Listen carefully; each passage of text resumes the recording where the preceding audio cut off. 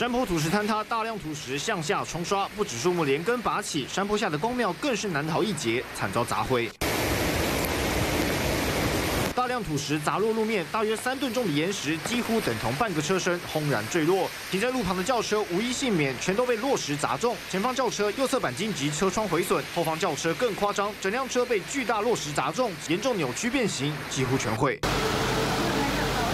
事发地点就位在新北市石碇区，或许是受不了连日大雨冲刷，边坡土石顺势滑落，从六层楼高度直直坠落，下方轿车全都遭殃，轻则钣金凹陷，重则压成废铁。土地公庙也难逃一劫，几乎半个庙身都被土石砸毁，现场土石瓦砾散落一地，一片狼藉。所幸现场没有人员伤亡，警消也赶紧到场拉起封锁线，禁止人员通行。除了积极抢通，也设法防止土石再度崩落。记者黄天友涛新北采访报道。